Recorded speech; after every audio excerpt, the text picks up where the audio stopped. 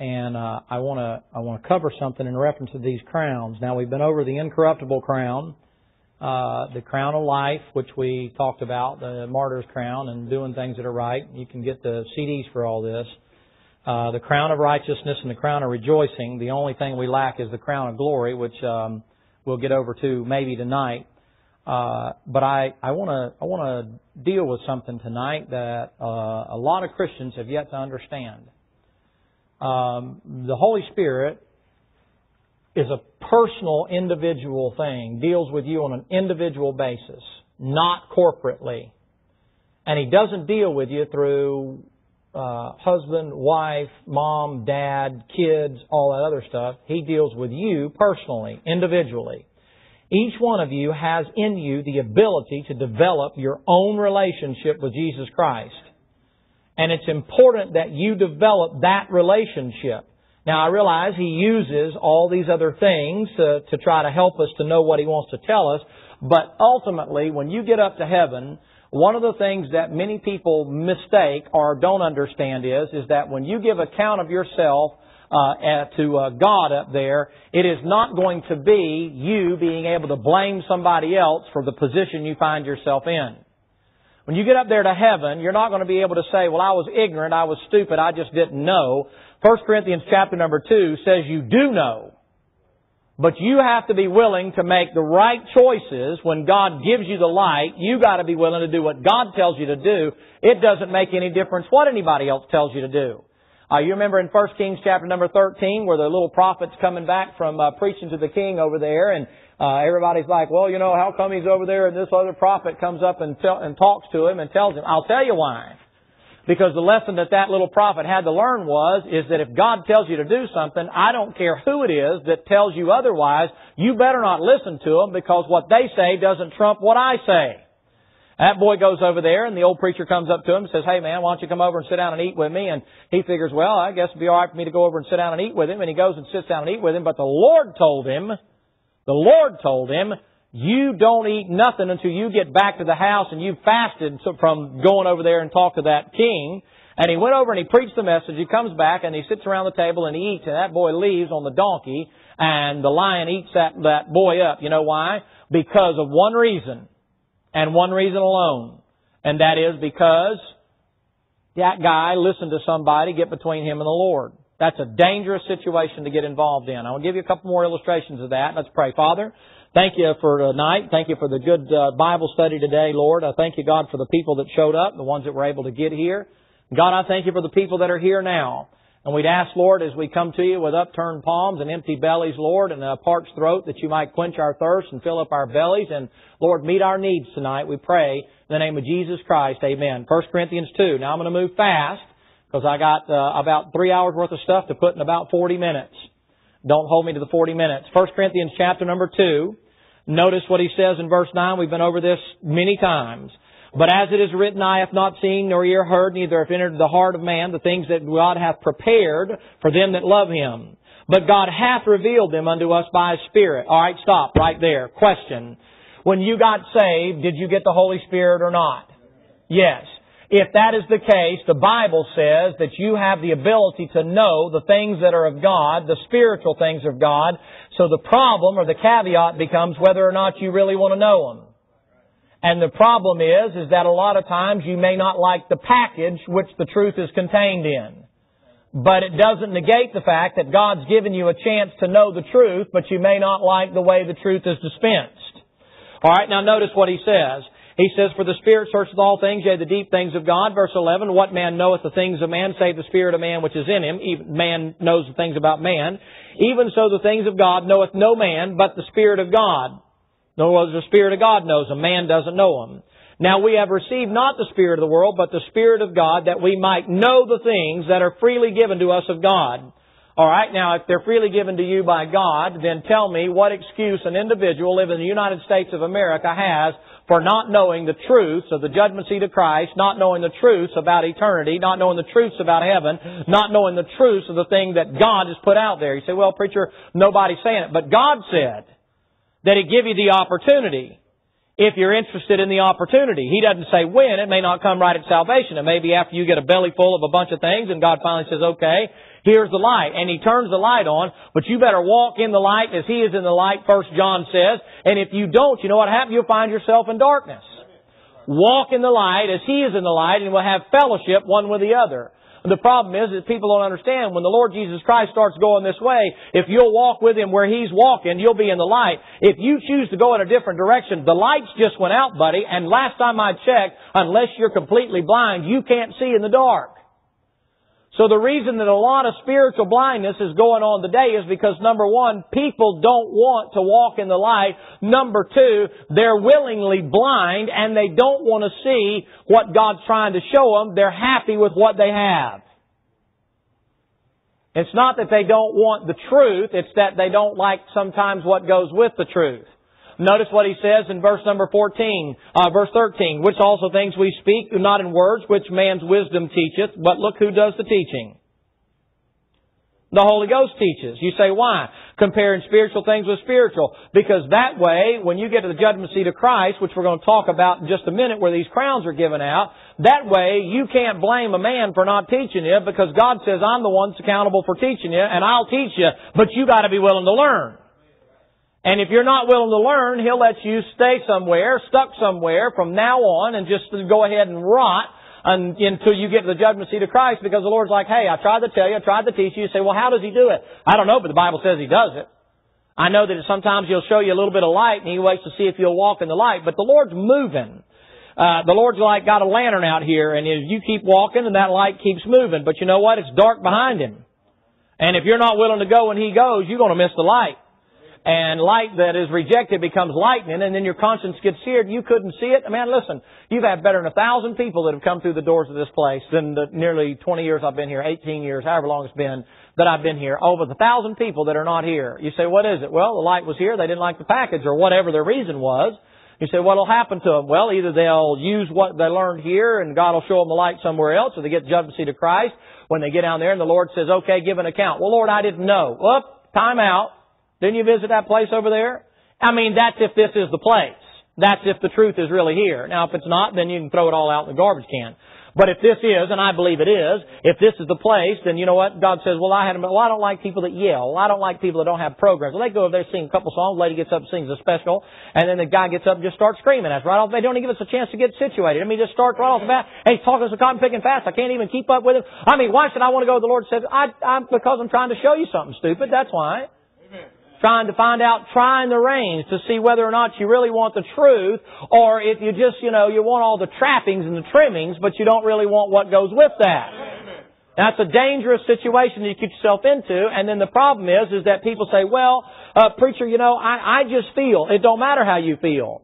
When you get to eternity, the judgment seat of Christ, where the, where the crowns are given out, you are not going to blame somebody else for what you're doing. Now watch what it says in 2 Corinthians chapter number 5. 2 Corinthians chapter number 5, and you've been over this a dozen times, but it's important for you to get it a dozen more. You say, why? This is where you're going. Uh, I don't know about you, but if I'm going to a place I've never been before, I check the map pretty regular, and I got one of them little things in there, but sometimes I, I bump that thing to make sure it's heading me in the right direction.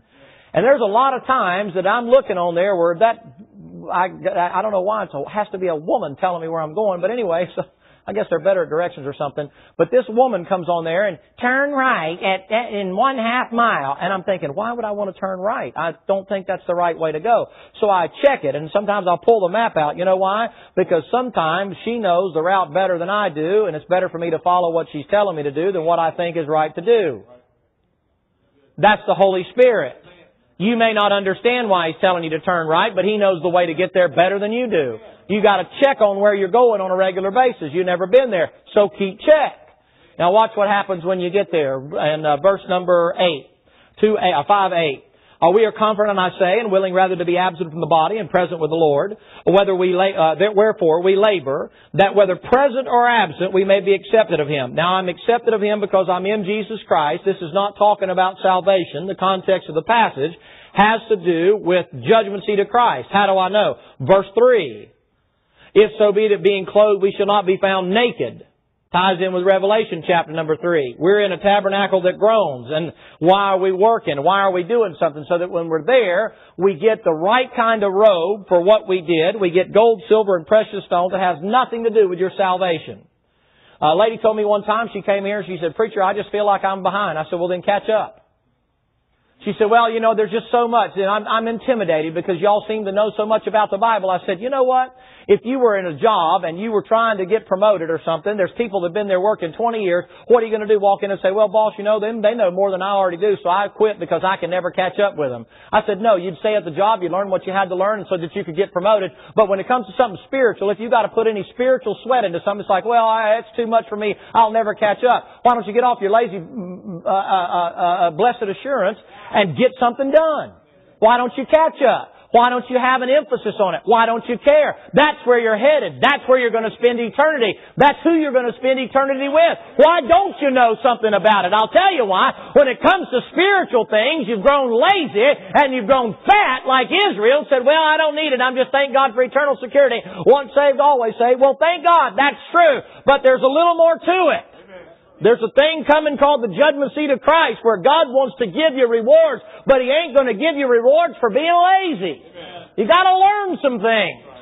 Uh, you know, nowadays it's just, well, preacher, just, just tell us something. Just tell us something. That's why the preacher gets up and all he does is tell you how to be saved and how to get people saved and how to tithe and that kind of stuff. Make sure you come to visitation. Make sure you teach a Sunday school class. Uh, make sure you, you know, you, you, you, you, you make a pledge and you do all this other kind of foolishness they don't teach you about God. You know why? Because they know Christians are generally lazy, and if you put spiritual pressure on them to learn something, they'll leave.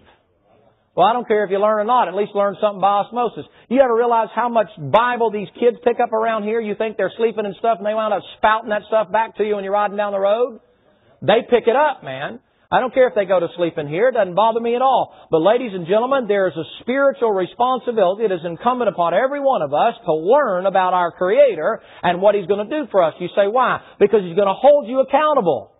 See, but preacher, I, I, I didn't know. You have the Holy Spirit in you. You live in the United States of America. You have a Bible believing work that's near enough to you that you can get to, and you got a Holy Bible, and you have no, absolutely no excuse. In Romans chapter 1, if He's not going to hold the unsaved without excuse because nature will tell Him, how much more you think He's going to hold you and me accountable? But we have in us the Holy Spirit of God, and by Him, by the way, He breathed on the waters and all the creation took place. Could I ask you a question? What excuse are we going to have?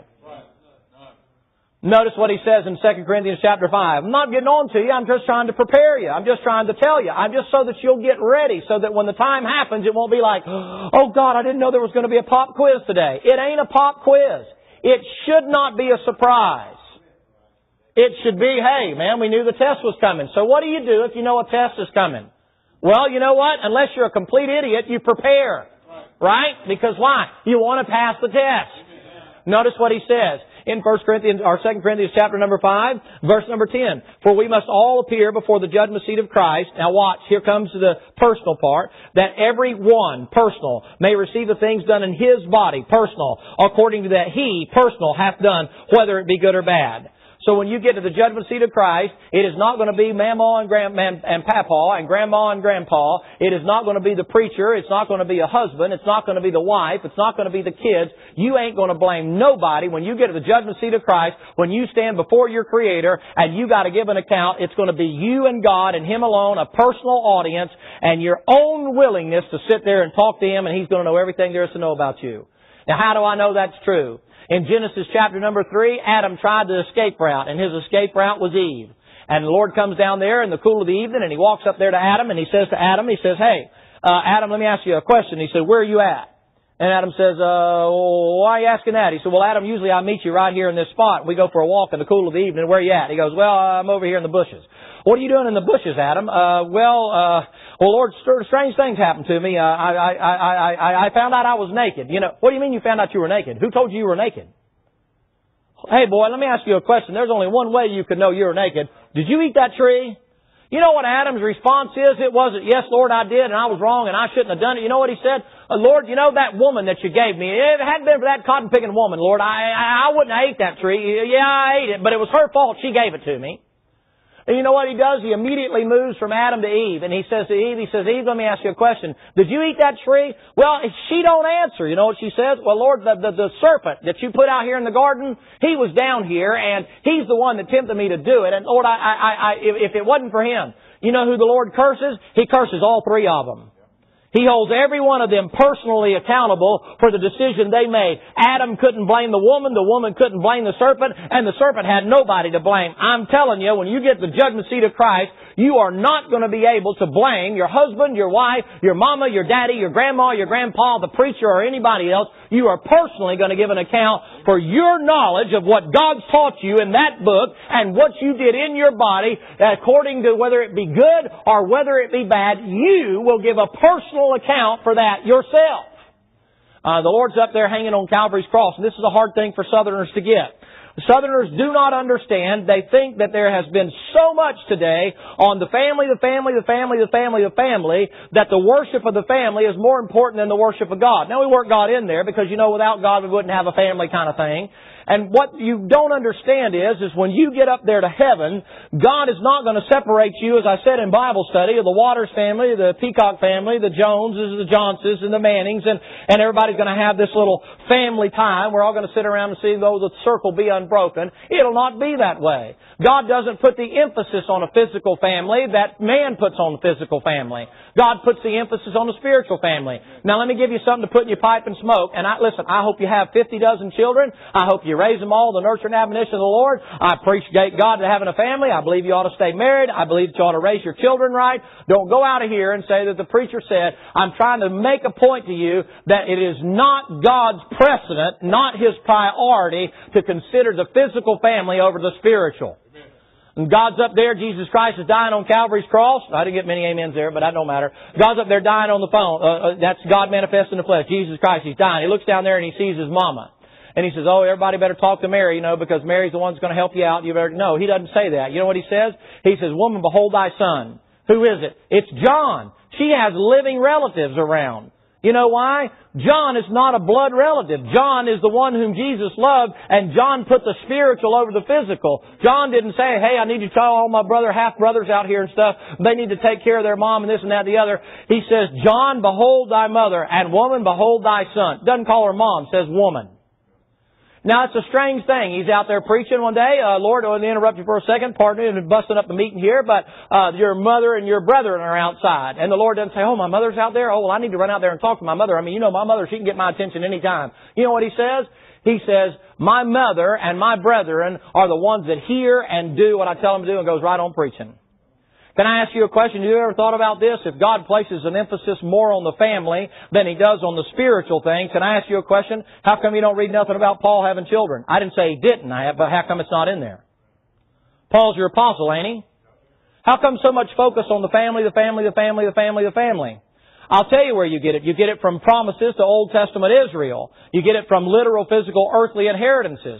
I'm all for having children. Have a passel of them, man. Take care of them. Make sure you can pay for them. But I mean, have all the children you want. Raise them up, man. Thank God. But listen, you can raise all your kids and nurture and admonition of the Lord. You are not going to take over the earth with Christian children and then therefore we're going to bring in the kingdom. It ain't going to work that way. I don't care what Gothard says. Uh, uh, that's a, that's a, anyway. Alright, now, now watch you get moving along in, in, that direction, people have a tendency to get real upset. Okay, well then let's look at Peter. Okay, we know Peter was married, he had a mother-in-law, right? How come you don't ever read about Peter's children? If being married and raising a family was so important, you would think that the example setter of all example setters would be Jesus Christ, right? How come he didn't get married? I don't care what the Mormons say. He didn't get married, he didn't have an illicit affair. Jesus Christ superstar and all that other kind of foolishness. He didn't do none of that kind of stuff. You know why? Because he wanted you to know there's nothing wrong with that. Nothing whatsoever wrong with that. So don't go out here and say, oh, well, preacher said you don't believe in the family. That's not what I said but I don't believe in the family over God Almighty. I do not believe in putting them ahead of the Lord Jesus Christ. I don't believe in making decisions that please your family and displeasing God. I don't believe that's biblically correct and I'll stand on it and get tore up at the judgment seat of Christ if I'm wrong. I'm telling you there is too much emphasis today on the earthly, on the physical, and too many people make decisions in light of what God would have them to do, I mean what man would have them to do instead of what God would have them to do. And I'll give you an illustration of that. You don't want to get yourself in this position. I've seen a lot of men come to this church over the years. A lot of men come to the church. This is where God led me to be. This is where God wants me to be. God wants me to be in this place. There's no question God wants me to be here. I believe God's me here. And their woman comes here the first time. Their wife comes here the first time. Or their kids come here the first time. Daddy, we don't like to go there. Honey, I ain't going there. That guy yells. He screams. Man, he spits. He sweats. He hops on pews. He scares people. He does this. He does that. They don't have programs and they don't have fun and they don't have music and they don't have rock and roll and they don't have contemporary this and contemporary that. And, you know, and, and there's just, it's just not any fun and that kind of thing. And the daddy goes, yeah, preacher, I believe God really led me here, but I, but you know, I, you know, I gotta have peace in the family. Okay, peace in the family over peace with God. Okay, fine. I listen, I don't, I don't have to live with the decision. Okay? So it's up to you if that's what you want to do. I'm not, I'm not saying that you don't have a right to make that decision. But let me just give you a list of word of caution. There's a passage in the Old Testament in 2 Samuel or 1 Samuel has to do with David and he brings up the ark the right way this time. And when he gets that ark up there, he begins to thank God and praise God and hallelujah, glory to God, God's presence is here. And the Bible says David danced before the Lord. Everybody remember that passage? Who do we need to turn there? You remember the passage. Raise your hand if you remember the passage. Praise the Lord, man. You're reading your Bible. All right, now. So David gets up there. There's a woman up there. It's David's wife. And you know what she does? She peeks out the window and she sees David out there praising the Lord and jump, jump, jump, dancing around out there and all that kind of stuff. And when David comes home, you know what she says to David? Oh boy, fine spectacle the king made of himself today. And David said, hey woman, I was worshiping the Lord. She don't ever back off and say, oh, uh, sorry, uh, apologize, I was wrong. You know what? She got between David and the Lord. Now watch what happens. David puts her away. Yes or no? He never, he doesn't divorce her, but he puts her away. She never bears any children. Alright, a little bit later on goes on, the Gibeonites come in there and they say, hey, Saul made a promise to us and he didn't keep that promise. And so we gotta have, uh, five of his, uh, of his next of kin that we want to see hung for that. And David says, okay, I'll get you five. There happen to be six of them still living. Mephibosheth was one. He's the one that gets taken care of. The other five of them don't get taken care of. That's a whole message in itself. Will make you shout, but I can't go there tonight. Those five of them are right there. Five. Death, judgment, destruction. Those five come out there because of the sins of the granddaddy, because of what granddaddy did and stuff like that. But more than that, you know who is the adopted mama of those boys right there? It's that same woman that David put away and now she's trying to bear fruit artificially and she comes in there and says, well, I can't have my own children, but I can raise somebody else's children. You know what happens to them five boys? Them five boys are hung out and put on the rocks and the birds eat them and all that kind of stuff and they're out there put for everybody to see. You say, why? Because that woman got between God and David. And God didn't let her bear her own children, and He didn't let her raise any children. He said, when I put you away, I mean you're put away, you ain't bearing no fruit. You know why? Because you got between me and somebody I was dealing with. Now I know that's harsh. But you better realize that when it comes to eternity and you get up there in heaven, ladies and gentlemen, it ain't going to be, well, them, well, him, well, her, well, him, well, this, that. You ain't going to have no excuse. You get to the judgment seat of Christ, you are not going to be able to claim that, and you best be careful about stepping in between God dealing with somebody else and God. I don't care who you are. And I gave you a couple of illustrations of that in Bible study. That's a dangerous position to get in. Because you know what you've done when you do that? You're stepping in and saying, I know what's better for you. Uh, I've seen uh, I've seen people come here over the years, and I've seen them meet somebody and pull them out of here, yank them out of here, and stuff like that. And they figure, well, you know, I've had enough of it, and so on and so forth. Somebody got between them, and you say, well, nothing happened to them. Accounts hadn't been settled yet this account that we're going to, that we're talking about, these five crowns we're talking about, that's the judgment seat of Christ. I want to make sure that if you don't get anything else that I preach to you tonight about the other stuff I'm going to tell you, I want to make sure you understand perfectly clearly that when you get up there, God is going to call you personally into account. You get a whole other name when you get up there. Did you know that? And your name ain't going to be Smith and Jones and Holland and Peacock and Waters and Johnson and all, it ain't going to be that. It'll be a name after the Lord's name. Your family ties are dissolved. All that'll matter is your relationship to Him. Now, for those of you that have great families, you think, "Oh my God, I, I just can't, I just, I can't imagine." Well, it, for some people that didn't have a family worth raising a cat, that don't bother them at all. Everybody just thinks, "Well, what, what, well, what about the people that have, you think they want to have a relationship with that kind of a family?" See, that just naturally upsets you. That just, well, I, well, I, I want to be seated with my family. You'll be seated with his family. What difference does it make? So you can't grab that. You, you, that that's that's human nature. That's Japheth. He just can't get that he has to lose his identity to be pleasing to God. That's you. You can't get when I get up there, I want to look in the mirror and see me. You're going to see him when you look in the mirror. A lot better looking than me and you. A lady asked me one time, she says, You mean I'm going to lose my image? And I said, I believe you are. The Bible says you're going to be conformed to His image. And she goes, Well, that might just mean, you know, it's a glorified body and it's this and that and the other. I said, Ma'am, honest to God, I said, Here's your problem. You're in your 20s. I said, You give it another 50 years or so, you'll be glad to lose your cotton picking image. Amen. I could go on with that, but I'll leave it right there. But folks, you have got to get your eyes on the eternal. And you have to stop making decisions on, does this please whoever it is? You please God. And let God work out the details. And, and, and if everybody else is hair-lipped, including the devil, then let them be hair-lipped, including the devil. If you please God, when you get the glory, God will put a crown on your head because you overcame that temptation to do what everybody else says to do because you're making the judgment light, uh, decisions in light of the judgment seat of Christ. Uh, I, I don't know how to put that to you easily. Uh, I don't think there's an easy way to put it. I can bet you this. I can bet you, unless you've been at this church for any amount of time, you probably have never heard that. Because now the focus is off of Jesus Christ. Now the focus is on the family. Okay, can I ask you a question? What if you ain't got a family? What do you focus on then? How do you become spiritual and you don't have a family? See, people don't think of that. Suppose your family is busted up from stem to stern and everything else. Well, preacher, you know, just read, okay, but, but wait a minute. I want to be spiritual and do right now. And my wife's remarried and I've done lost the custody of my kids. Now, now what am I, how am I going to be spiritual? You just can't be? Hogwash. It has nothing to do with your physical family. That's hard. Too much emphasis there. I wish to God some of you give as much preeminence to Him as you do to them. But what does the passage say? All right, one more passage. 1 Corinthians chapter 3, and then we'll try to hit this other crown if I don't run out of time. 1 Corinthians chapter 3. Uh, you, you get up to heaven, the Lord's going to hold you accountable for what you know and why you didn't know. That doesn't mean you have to become a Bible study, a Bible uh, uh, uh st- uh, scholar, but you ought to know something. The Bible says that you each have the Holy Spirit in you. You have the Holy Ghost. Holy Ghost means that He deals with you individually. Holy Spirit means He's dealing corporately. Okay? In a, in a group. So you each have the Holy Ghost in you individually, right?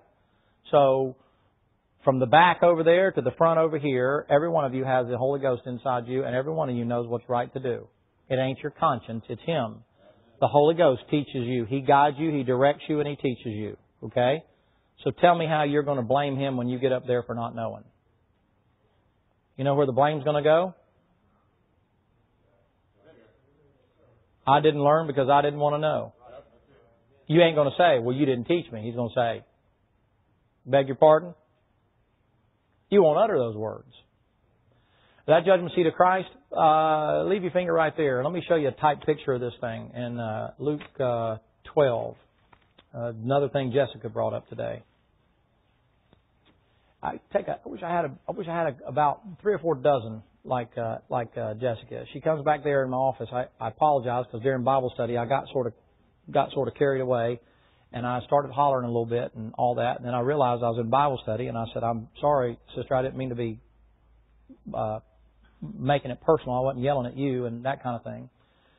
She comes back there in between the service. She said, "Preacher, you yell at me anytime you want to." She said, "I I know what you're trying to do. You don't bother me at all." But I wasn't yelling at you. She said, "But I know that." But she said, "That don't bother me at all." She said, "Makes me think you love me." Man, that's a kid. That was a blessing, man. Luke chapter number 12. I know dispensationally, the context of the passage has to do with the second advent, but there's an application for you. Now watch what he says. Luke chapter number 12, we'll start in verse number oh, 44, 43, um, 42. The Lord said, Who then is the faithful and wise steward, whom his Lord maketh ruler over his household, and give them their portion of meat in due season? Blessed is that servant whom his Lord, when he doth come, shall find him so doing, doing what God told him to do. Of a truth I say unto you that he will make him ruler over all that he hath. You can fit that for the judgment seat of Christ. You can fit that for you as far as what's going on. I'll show you where the second advent comes in a minute. But you know what the Lord says? If you do what I told you to do, when you get up here, I'll give you a crown. What's the crown reference to? The crown is a reference to 2 Timothy chapter number 2 and Romans chapter number 8 when he says, if you suffer, you shall also reign. Crowns signify reigning, and it's a literal crown. I'm giving you this crown, you're going to rule over this. I give you this crown, you're going to rule over that. I give you this crown, you're going to rule over this. It's not ruling your body and ruling your members. You'll have a body and a mind like Christ. It's ruling over countries, nations, people. You get that if you just do what God tells you to do now. You say, well, how can Herbie get a crown like that? I'll tell you, because Herbie did what he knew to do. He was half baked. He didn't know everything that was going on. I don't mean any disrespect by that. He, he wasn't he wasn't uh, intellectually very intelligent, but he was smarter than a lot of Christians I know. He was smart enough to do the best he could to read. He couldn't read, man. He just had his Bible with him all the time. You never saw him without that New Testament in his pocket right there. Herbie'd walk all over that town, tell he was cotton picking fence posts about Jesus Christ. You know where you'd find him every Sunday? Right there, where Brother Robert and Robin are sitting right there. Brother Robert and Sister Robin are sitting right there. You'd find Herbie sitting right there. You'd find him rain, sleet, snow, or shine, hot, cold, it didn't matter. He'd be sitting right there unless he was deathly ill. Unless something was going on, that boy was at church every time them doors were open. And you know what he did? He'd go down there to the paper company and he would turn in his money and he'd come back down there and he'd throw his envelope in the plate, stand around, show everybody, and sing. You wouldn't call that singing. God'd get up there and just, ah, yeah, yeah, yeah, I mean, you know, I was thinking, good night, you had to sing loud enough to drown him out. That's how he sang. And you know what? God's up there going, yeah, amen, Herbie, lay it on, baby. Yes, sir, boy. That's it. Yes, you'll take the stew out of all these little uppity Christians in here, all of these little prim and proper. Yeah, man, grind on them, Herbie. Sand them down, baby. Let's go, man. I mean, the Lord's up there liking that stuff. You say, what'll happen, buddy, when he got up there to heaven, man? He's running around on two good legs that aren't pigeon-toed, and his thumbs are turned up. You know why? Because he did what God told him to do with the ability that he had to do it. Amen. That's all you have to do. Just what you can. You don't have to try to get up, well, what do you think I should do? Well, what do you think I should do? Ah, how the heck do I know? Ask him what you should do. You say, well, how could Herbie get a crown? Because he did what he could with what he had to offer. Buddy, I'll guarantee you, as soon as a touch of God hits that boy up there and he gets his mind straightened out and his body straightened out, you know what he'll be doing all around? Man, you know what? Man, I was a retard for God's glory down there. I mean, God touched me and I never had the mental capacity that other people had. I never had the body that other people had. I never could touch the things. I couldn't play ball. I couldn't go to school. I couldn't learn things. Man, I walked around and hauled newspapers all my life. I mean, I stunk, man, and I did all this thing. Thank God, glory to God, He made me like that. If He hadn't, no telling what I'd have turned into. Glory to God, look at where I'm at now. If it wasn't for Him, I wouldn't be where I am. Thank God He even saves people like me. Well, glory to God, and He'll take off shouting and saying, Hallelujah hallelujah, that God made me like He did. And all Christians do run around and gripe all the time. You got a hundredfold what that old boy had. A hundredfold some of you could get something done, but you're too busy. Too much to do. Too many places to go. Too many things to see. And Herbie's up there saying, God, sure do appreciate you not making me like that. I'd have made a mess of my life. So you surely you don't believe that. You wait till we get up there. Herbie will meet you at the gate. Of course, you'll know him then as Herbie, and he'll say, "Hey, how you doing? I'm the one that preachers talk about all the time. You realize your preacher used to laugh at me and mock me and make fun of me? Thank God for that boy. I've been praying for him. I prayed for him when I was down there, when I was in that state. Mock me and making fun of me. You know why? Because he met me in church.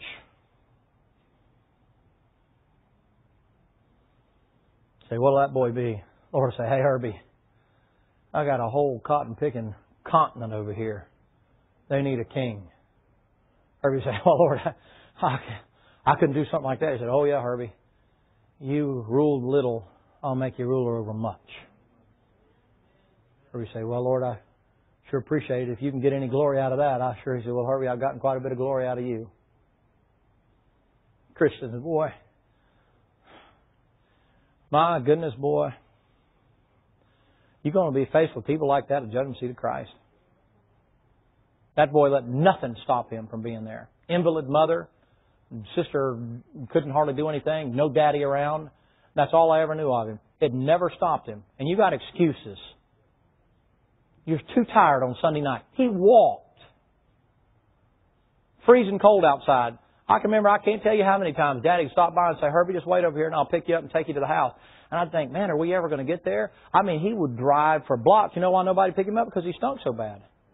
I mean, once he was in your car, buddy, you knew he was in your car for a week after. You put the windows down and had to put the stuff in. My daddy'd pick him up and take him to the house. You know, it was a strange thing. That boy would come if it was pouring down rain. He'd sometimes put newspaper over his head and walk all the way to church. And he'd come after the service. It's pitch dark outside, sometimes snowing. That boy'd take off, walk back home. Never thought nothing on it. He never, he never, nobody give me a ride. Well, I got too much to do, man. I'm, I'm just, too, it's just too far for me to walk down there. I'm, I'm, I just, I can't make it tonight. You know what? If he had, nobody would have said nothing. Nobody would have said a word. Hey, man, no, no kidding. I mean, I wouldn't blame him for not coming. His mama's at home, an invalid in the bed, and he's got to get up and go to the next day and collect all them. Who would blame him? You couldn't keep that cat if you chained the doors. I think he'd break the chains down, break the doors down. And you got excuses because you can't get to church. I can't get that. You think preacher just gets upset because that's what preachers all say? No, I'm looking at people like Herbie. And I'm, you know what it does? It encourages me. I'm thinking, well, Lord, okay, if He can make it, I guess, I, I, I, okay, Lord, I have no complaints. Good preaching. So you're going to face the judgment seat of Christ. You can get here. Not that hard. You can read. You can understand.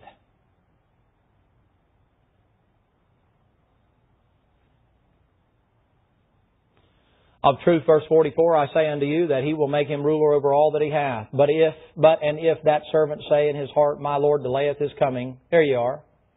I don't think the Lord's coming. And shall begin to beat the men servants and the maidens and to eat and drink and to be drunken. So it's the type picture of a Christian. It gets to the point thinking, ah, the Lord's not coming, the Lord's not coming, the Lord's not coming, so I'm just going to do what I want to do, my way.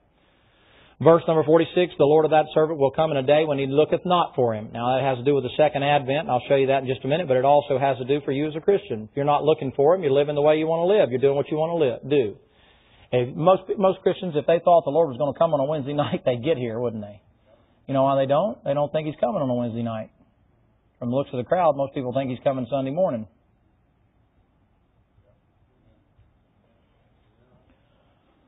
The Lord of the servant will come in a day when he looketh not, an hour when he is not aware, and he will cut him sunder and will appoint his portion with the unbelievers. Now, that in the sense of you can't lose your salvation, that has to do with the second advent.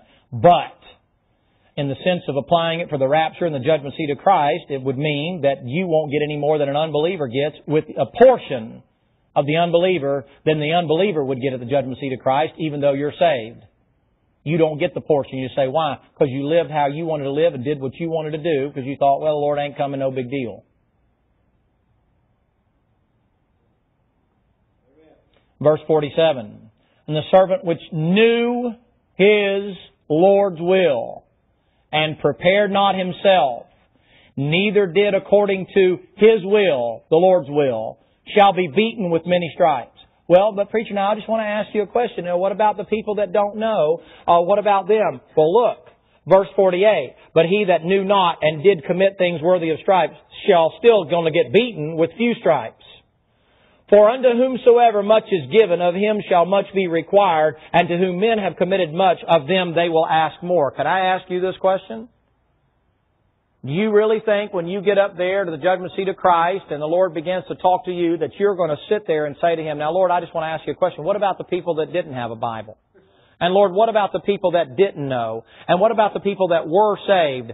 You know what? You won't dare ask that. But you know why you ask it now? Because you're like a cotton picking little worm trying to escape from a fire that's burning and you're trying to get away from it. And so what you're trying to do is, is, oh, I'm just going to defend some poor innocent little individual that doesn't know. Then why don't you get off your blessed assurance and go teach them? If it bothers you that bad, why don't you saddle up and head over to the country where you think they are and quit using them for an excuse? And why don't you go over there and teach them? You care that much, enough to use them for an excuse? Go teach them. Maybe that's your call to the mission field. Uh, Christianity's gotten sort of pinkish nowadays. It's it's it's not red blooded like it used to be. It's kind of like, well, I don't want this stuff that's going to cost me something. Uh, whosoever loveth father, mother, sister, brother, husband, wife more than me cannot be my disciple. Another passage he puts it a little bit stronger. He says, if you don't hate them, that you can't be my disciple. He doesn't mean hate them in the sense, but he means in comparison to loving me, you better be like hating them because you better choose me before you choose them. Christians can't take that anymore. I'm preaching hard preaching tonight. I may not be screaming and yelling and calling every uh, uh, sin to, to mind that you're doing. What I'm talking is hard stuff. You say, what are you presenting? I'm presenting a cross to you. That's what I'm presenting. I'm saying to you that it ain't right for you to decide what you're doing and keep fitting in with the world and let your kids fit in with the world. Just do whatever you Johnny well please. Because what's the big deal? I mean, after all, everybody else does it, preacher. And I mean, you know, why do we have to be so separated and so called out and, and so freakish and so odd? Because at the judgment seat of Christ, the Lord will reward you with a crown. That's why. Amen. Because it'll please Him. That's why. And you know what? The passage is you right there. You say, oh, well, what's going to happen to me? Paul says in 2 Corinthians 5, knowing therefore the terror of the Lord we persuade men. This passage right here, you know what he says? He says, that servant that knew and didn't do it shall be beaten with many stripes.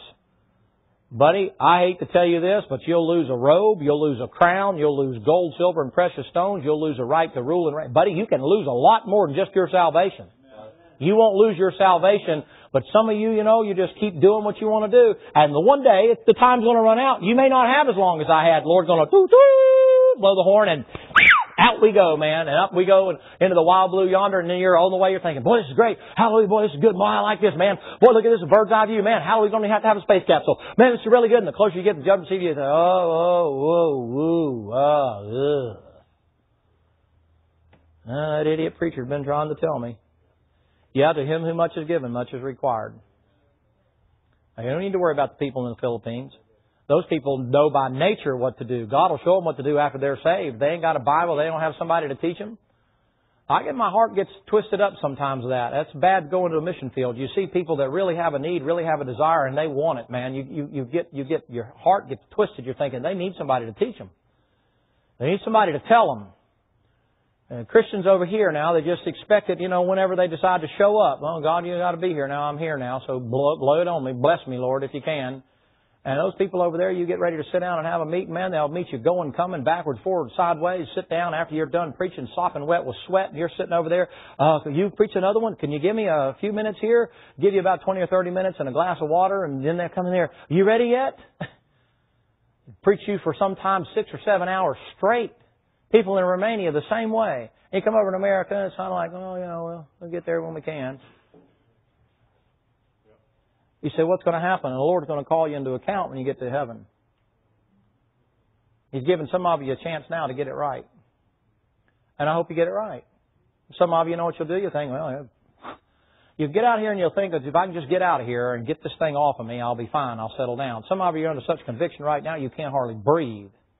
You can't move because you know the Holy Spirit telling you He's telling the truth. He's telling the truth. He's telling the truth. Now you tell me. Let's just weigh it. Let's just judge it for a second if what I'm telling you is true and you died and you were doing what I'm telling you to do, would you be ready or not to hit the judgment seat of Christ? If, if you're doing what I'm telling you to do, you'd be ready. If you're not, would you be ready? Well, then it must be true. You know what? The Lord put it right in your precious little hands where you want it. You have control over your destiny. You're eternally secure. Thanks, Kim. You have, you have, you're eternally secure because your destiny is fixed because of Calvary's cross and salvation. But now He gave you what you've always wanted. Well, I don't want to sweep no floors. You ever heard this statement? Why do I have to start sweeping floors? I want to start at the top. Lord says, you want to start at the top? Yeah, I do, Lord. I want to start at the top. Okay, sweep your floors now and I'll give you the top position when you get there. Amen. Cross now, crown later. You know what Christians don't want today? They don't want no cross. That's why the church is a mockery, people. That's why it's a joke.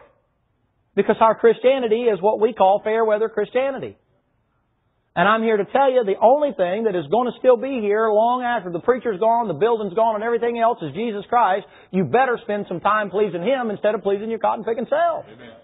1 Corinthians chapter 3.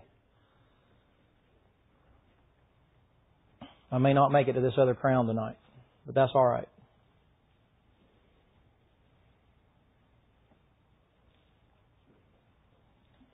Verse, uh, is it verse 9 that says we are therefore laborers together? Is that how it starts?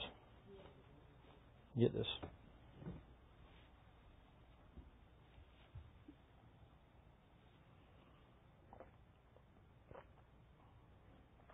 Excuse me. All right, verse 9. For we are, are laborers together. Two words. With God. You're God's husbandry, you're God's building, according to the grace of God which is given unto me as a wise master builder. I have laid the foundation and another buildeth thereon. But let every man, individual, personally, take heed how he, personally, individually, buildeth thereon. Other foundation can no man lay than that is laid, which is Jesus Christ. There's your salvation. You can't lay that. So the Lord's the foundation. He lays down and lets you build on Him. Okay? If a man build upon this foundation gold, silver, precious stones, wood, hay, stubble, every man's work shall be made manifest, for the day shall declare it, the work, because it, the work, shall be revealed by fire, and the fire shall try every man's work of what sort it, the work, is. If any man's work abide which he hath built thereupon, he shall receive a reward. If any man's work shall be burned, he shall suffer loss, but he himself shall be saved, yet so as by fire. Ladies and gentlemen, he's trying to show you that your salvation is secure, but what you do after salvation is only secure if it's gold, silver, and precious stones. If it's not, if it's wood, hay, and stubble, you know what happens when it shows the fire? It's toast. You know what the tragedy is to me? You know, really, I'm, I'm, I'll be real honest with you. The tragedy is to me is that there's hundreds of thousands, millions probably of Christians that know absolutely nothing about what I'm telling you right now. And they're going to get up there and they're going to think, well, all I'll do is get me a little harp and a little cloud to ride around on. And the Lord's going to go, judgment seat of Christ. And they're going to be, oh, that's the great white throne, you know, out there we meet. You know, I, preacher never thought nothing about preaching that. I, I don't know nothing about that. And the Lord's like, you had a Bible you had the Holy Spirit. And if you lived anywhere in certain areas of the country, there was a Bible believing church that you could have gone to to teach you. You know what they'll do? They ain't going to open their mouth. Because ignorance is not an excuse. Now, we got several policemen in here, but Brother Rogers lieutenant, and Brother TK is a, uh, a sergeant. Maybe it's changed since I was there. Isaiah's up here. Uh, he's a policeman. You guys correct me now if I'm wrong, and I'm not being funny. When I was there, they taught us that when it came to enforcing the law, that ignorance of the law was no excuse. Is that still true or not? In other words, if a guy comes over here from another country and in his country it's okay for him to break in a house and steal something, it doesn't matter if he doesn't realize that it's not okay over here. He still goes to jail for breaking in and stealing. Is that true? Okay. All right in the mouth of two or more witnesses let everything be established. That's what the three policemen said. All right. Now, if that's the case, do you really think that when you get up there to heaven that you can go, well, Lord, I just didn't know. You know what? You're right. You didn't know. The spirit of the man doesn't know. But you know what's in you? The Holy Spirit that knows all things. Yea, even the deep things of God.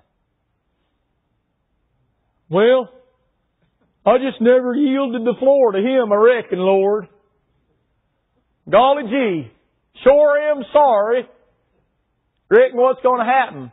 Lord said, I'm going to knock the tar out of you. That's what's going to happen. But more than that, you're going to be displeasing to me. I can't put a crown on your head, and I wanted to. I can't put a robe across your shoulders, and I wanted to. I can't give you the chief seat at the table, and I wanted to. I can't give you a city or a town to rule over, and I wanted to.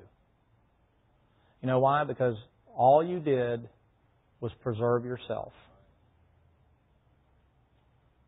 All you did was live for yourself. All you did was care about what you wanted and what I could do for you. And you lived your whole life after salvation for yourself.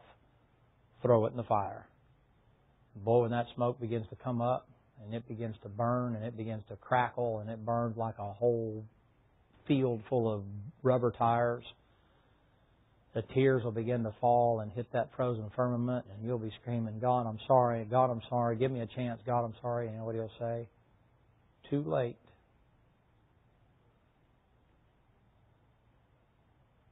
Too late. I warned you, and I warned you, and I warned you, and you just were hell bent on doing it your way. Fine. Now we're going to settle the accounts. And ladies and gentlemen, I do not teach that you should be striving to do what pleases the Lord to avoid a whipping. But I believe that if you love Him, that you're willing to do what He wants you to do no matter what the cost. Illustration and I'll close. I may be wrong in saying this and she can correct me. When I first met my wife, I did the thing that was expected. I went to her dad and I said, I'd like to marry your daughter. Thank the Lord, he said, okay. He asked me, you know, some questions and stuff like, a, you know, I guess a dad would do and all. But you've known me a lot of time, a long time now. Do you really think that if he'd have said no, that I would have not married her? I'd have put her between a rock and a hard place. You know what I'd have said? It's either him or me. Now listen, you you want to go by all the stuff of well, I just think I know better than my daughter and better than my son and all that's your business. That's fine. I'm not making fun of you. I'm speaking for myself, so don't go out here and be offended. I don't want to choose. If my daughter comes and asks me, I'll tell her if she don't want to go by it, then she can reap whatever she sows. It's her own deal. I'm not going to get between it. Eh, just grinds on some of you. Well, you ought to know. Well, maybe she's got some things to learn. But you know what? I said, I love you and I want to marry you. I think that if it were necessary, even if it upset them, she'd have married me anyway. It's an illustration to say, you know what? If you really love the Lord, why do you always think about who it's going to upset and who it's going to bother before you choose the following.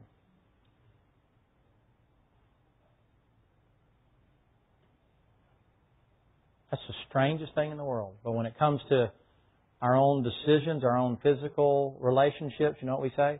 We're going to do what we want. I don't care who it bothers. But when it comes to the Lord, well, He understands. I don't think so. I think we're speaking for Him and acting. I can't find it in the Bible. Now, if you can, you let me know and I'll take the rebuke and I'll apologize.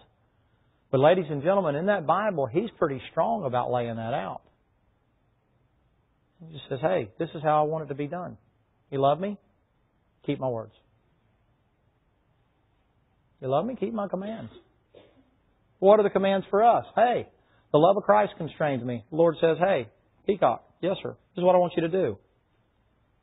You know what's on trial? My love for Him. He already proved, didn't he, TK, his love for me? He died for me, right? You know what's on trial, Brother Larry? whether or not I love Him. So the Lord says to me, Hey, Peacock, this is what I want you to do. Peter, you love me? Oh, uh, yeah, Lord. Sure. Really? More than these dead fish? You willing to die yourself, your dreams, your ideas, your business, your thoughts?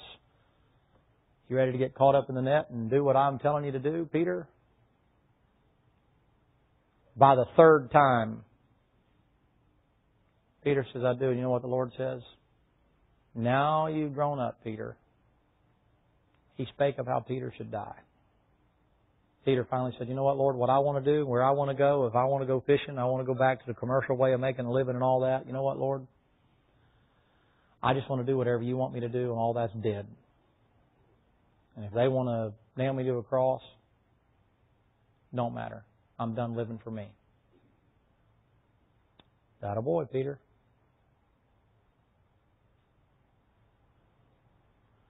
So you know what the Lord's given you a chance to do? You know what all five crowns mean? That you loved Him more than you loved yourself. They're a testimony of your love for Him.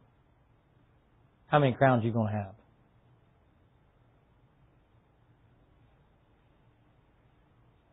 So how do I get that crown? Somebody's going to die. Your will's going to die. Your way's going to die. Your dreams may die. Your wishes may die. Lord said, I'll make it up to you. Peter says to him one time, and I like Peter. Brother Gene Peter says to him, he said, Lord, you know, what about those of us that gave up houses and lands and families and all that? You know what the Lord says? I'll give it back to you multiples. Because I'm not going to be beholden to any of you. Anything you've given to me, I'll make sure you get it back and then some. You make a good investment? So, well, what do you want, preacher? You going to take up offering? No, no. No. You know what the Lord's looking for? I beseech you, therefore, brethren, by the mercies of God, that you present your bodies a living sacrifice, holy and acceptable unto God, which is your reasonable service. Be not conformed to this world, but be transformed by the renewing of your mind, that you may prove that which is good, acceptable, and perfect will of God. You know what He wants? He wants you. You know what He says when He puts that crown on your head, Brother Brad? He loved me. Last, John refers to himself, inspired and under the inspiration of the Holy Spirit of God, as the disciple whom Jesus loved. The Holy Spirit wrote that in there. John's a type of the church the type of a Christian that says, you know what? I love the Lord. How do I know? He's the one who put the crown on me. He's the one that's the judge. It's evidence right here of my love for Him. Say why? Because He's worthy to be loved. What will it cost me? Nothing compared to what it cost Him. A Christian, if you can get that, when you get to the judgment seat of Christ, it won't be with fear, dread, and terror. It'll be, thank God I finally get to see the one who I love. Thank God I finally get to be with the one whom I love. Thank God that now that I'm with the one that I love, I'm finally happy because I've been reunited with the only thing that matters to me. And you get that right there. Your Christian life will turn from one of, oh, what can I do now, to, what do I get to do next? Lord, is grinding a little bit. Must be something in this one then. Lord, it's hard. Yeah, it must be worth something. My daddy always told me, he said, if it's worth something, probably going to make you sweat. Probably going to cost you something. When I first started working out and training back years ago, man, I was so stinking sore, man, I would hurt. My daddy said, well, son, if you want to be like Jerry Daniels, it's going to cost you something. You want a crown? Won't cost you something. Salvation's free, it's paid for. His love for you, it's free. Not in question. How about yours? Judgment seat of Christ, if he asks us this. Hey David. Yes, sir, Lord. You love me? I can't go, well, sure, Lord. You know what the Lord's going to say? We'll throw it in the fire, we'll see. Because, Christian, there is one thing on trial in your life after you're saved it's who you love. Everything that you do is motivated by who you love. Everything. The preacher just tell us how to dress right and spit white and do all that other kind you fall in love with Jesus Christ, that stuff takes care of itself. And you know what? No matter how many things I tell you to do, if you love yourself more than you love Him, those things are going to quit being done anyway. Because you can't keep doing it. It will not motivate you enough to be scared or guilt tripped. But you know what will? You know what will make it last forever? Love. And by the way, in this context, it's a verb. It requires action. Father, sure do thank you for tonight. Lord, sure do like talking about you. God, I pray that you might be with us and help us to grasp this topic, this subject. Lord, even more important than knowing the significance of all the crowns, more important to know you. God, I pray that you'll help us with these matters and you'll rekindle the fires in our hearts, Lord, of our love for Thee. Lord, you'll prepare us for the days to come, the difficulty, the struggles, the trials, the problems that are sure to take place. And God, that when the struggles begin and the trials begin to come, Lord, that we'll simply realize it's an opportunity for us to prove our love for Thee. God bless these people that have come, and I pray, God, that you might help us. We pray in the name of Jesus Christ. Amen.